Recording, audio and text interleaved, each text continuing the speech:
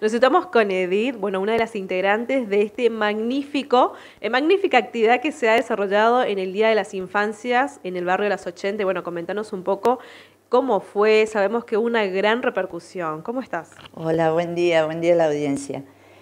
Mira, suplió ampliamente las expectativas que podíamos haber tenido.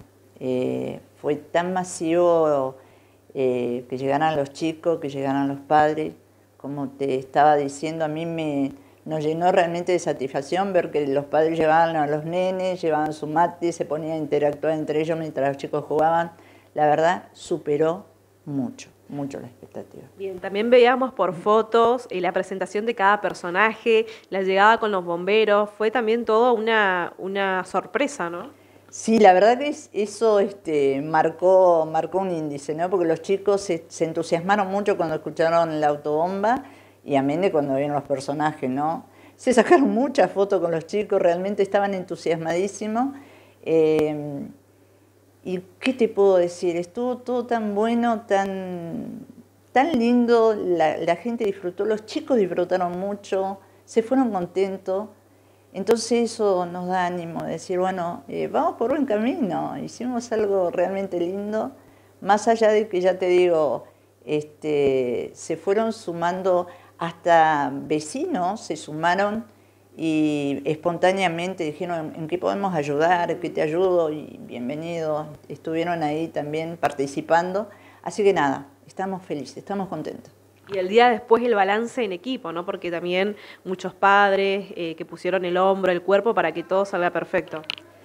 Mira, hoy nos vamos a sentar seguramente en una reunión y vamos a hacer esto de, a ver, balance positivo o negativo, que seguramente algunas cosas negativas para, para cambiar va a haber. Lo bueno es eh, que dejemos la, la queja y realmente hagamos una crítica constructiva para seguir avanzando.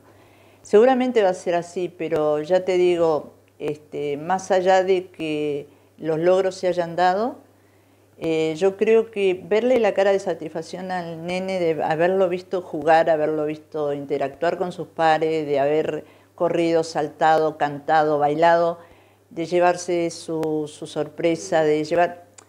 al respecto de esto pasó algo muy insólito. Recibimos el llamado de dos eh, mujeres que nos dijeron, mira, ¿por qué no pasas por mi casa? Tengo algo para donar para que ustedes puedan rifar.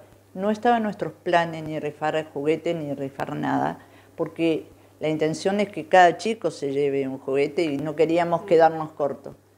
A partir de ahí comenzaron a llamar y entrar donaciones y donaciones y donaciones. Terminamos armando regalitos, una bolsa de consorcio llena de regalos que yo digo, wow, qué bueno, porque eso salió, surgió del corazón de la gente y estuvo genial. Esa parte estuvo muy buena, realmente. Bueno, muchas gracias y que sigan los éxitos y estas propuestas que son más que superadoras para la comunidad.